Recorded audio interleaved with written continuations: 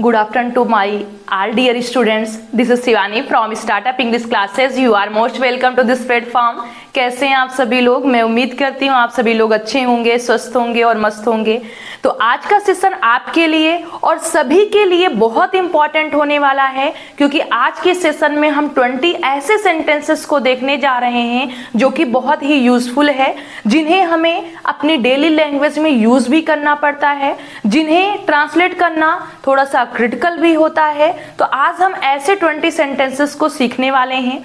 Session को start करने से पहले आप में से कोई नया है जिसने अभी तक हमारे चैनल को सब्सक्राइब नहीं किया है या प्रीवियस वीडियोस को वॉच नहीं किया है तो आप प्रीवियस वीडियोस को वॉच कर लीजिए चैनल को सब्सक्राइब कर दीजिए ताकि आने वाली सभी क्लासेस आपको अच्छी तरीके से समझ में आए और सारे वीडियोस की नोटिफिकेशन आप तक समय से पहुँचती रहे। तो चलिए आज का सेशन स्टार्ट करते हैं। बिना देरी के डेली यूज़ कॉमन सेंटेंसेस यानी ऐसे सेंटेंसेस जिन्हें हम डेली बोलते हैं। तो आज का हमारा फ़र्स्ट सेंटेंस है, आपका जवाब नहीं।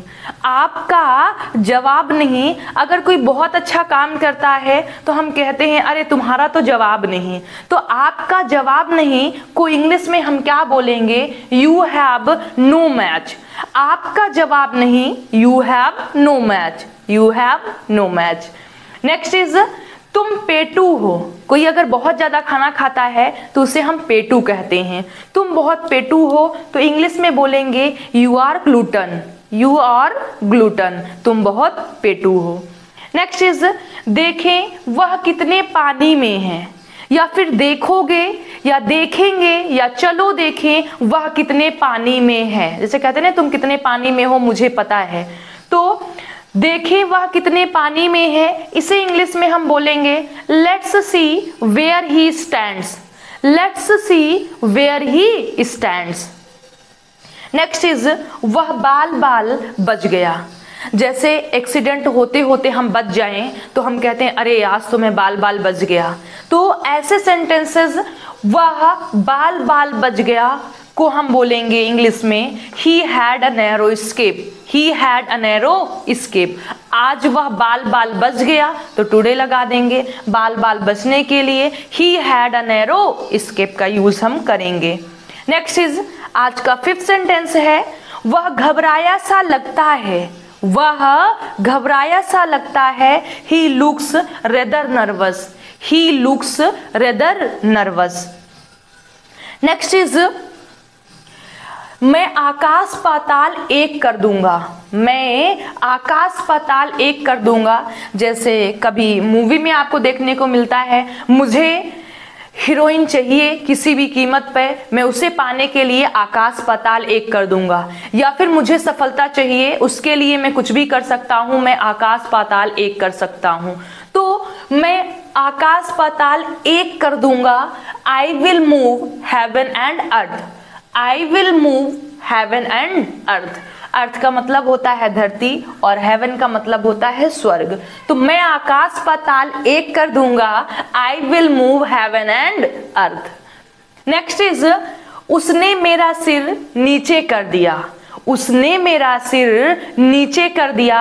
अगर हम कभी कोई अनजाने में कोई गलती कर देते हैं तो पेरेंट्स हमसे कहते हैं, तुमने मेरा सिर नीचे कर दिया या उसने मेरा सिर नीचे कर दिया है? तो यहाँ पर सिर नीचे करने से ऐसे नहीं है मतलब हमारे रिस्पेक्ट को कम कर देना या फिर शर्म का कोई ऐसा काम कर देना तो उसके लिए यूज़ हुआ है। तो उसने मेरा सिर नीचे कर दिया he has brought me to shame he has brought me to shame next चीज़ क्या आपको अपना वादा याद है? क्या आपको अपना वादा याद है चैनल को सब्सक्राइब करने का?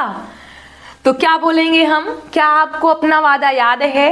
Do you remember your promise do you remember your promise next is कभी कभार अगर कोई मान लीजिए घर में ना जानते हो, कोई स्मोकिंग या फिर तमाकू या फिर कुछ गुटके वगैरह खाते हो तो अगर पकड़ जाते हैं तो कहते हैं कभी कभार खा लेते हैं कभी कभार खा लेते हैं। तो कभी कभार को क्या बोलेंगे? वंसा वाइल वंसा वाइल परेशान मत हो। अगर कोई परेशान होता है तो हम बोलते हैं, चिंता मत करो, परेशान मत हो, हमेशा खुश रहो।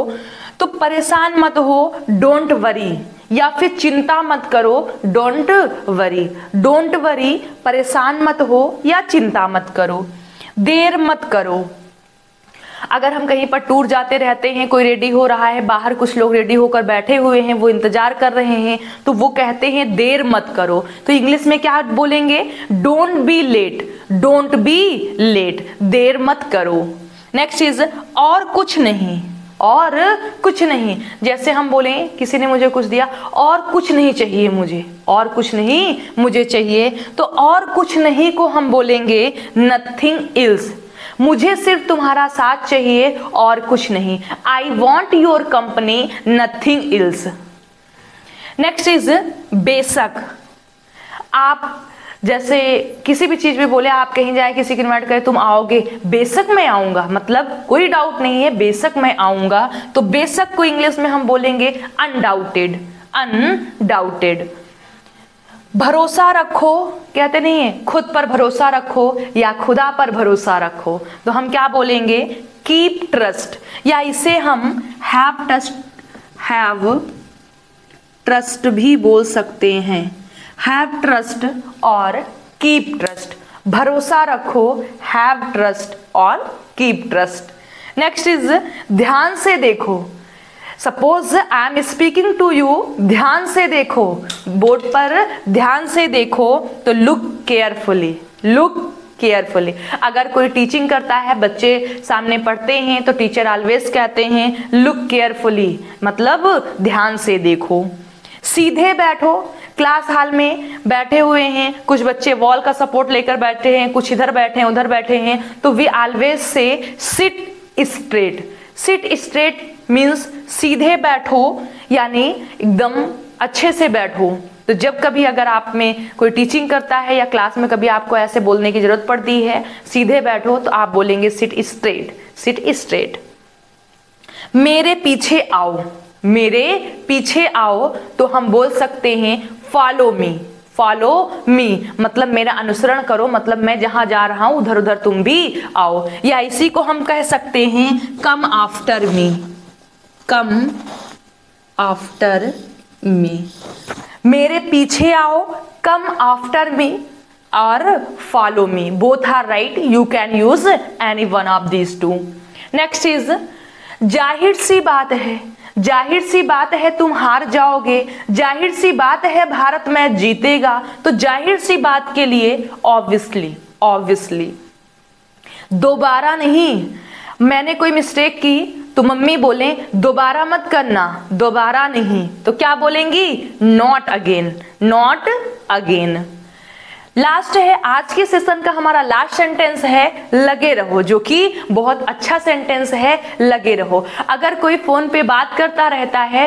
फ्रेंड बगल से गुजरते हैं तो कहते हैं, अरे, लगे रहो भैया, लगे रहो। या फिर कोई काम कर रहा है, पढ़ाई कर रहा है तो मम्मी कहती काम मैं कर लूँगी, तुम लगी रहो। मतलब तुम करती रहो तो लगे रहो को इंग्लिश में हम क्या बोलेंगे? स्टे ऑन स्टे ऑन लगे रहो स्टे ऑन तो आप लोग भी चैनल को देख देखते रहिए मतलब देखने में लगे रहिए। स्टे ऑन अगर आज का सेशन आपको अच्छा लगा हो तो वीडियो को लाइक करें, अपने फ्रेंड सर्कल में शेयर करें और वीडियो को ज़्यादा से ज़्यादा शेयर करें ताकि हम छोटे से छोटे गाँव तक भी पहुँच सकें और उन बच्चों को भी इंग्लिश सिखा सकें और उनके अंदर जो डर बैठा है इंग्लिश को लेकर, उसको भी मैं भगा सकूँ। आप अच्छी तरीके से जानते हैं कि मेरा इंटेंशन क्या है, मेरा इरादा क्या है पढ़ाने का। मैं ऐसे बच्चों को टीच करना या ऐसे बच्चों को सिखा सिखाना चाहती हूँ, जो इंग्लिश से डरे हैं, या फिर जो बहुत हाईटेक क्लासेस को नहीं समझ पाते हैं रूरल एरिया से आते हैं, अगर कोई रूरल एरियाज़ के बच्चे हैं तो वो उनका मैं सपोर्ट कर पाऊँ, उनको भी मैं ऊपर लेकर चल सकूँ। तो आप मेरे मेरे इस मकसद में ज़रूर साथ देंगे, मुझे पूरा विश्वास है और आप दे भी रहे हैं। तो चलिए, आज की क्लास यहीं पर ओवर करते हैं। मिलते हैं आप लोगों से, हम कल नेक्स्ट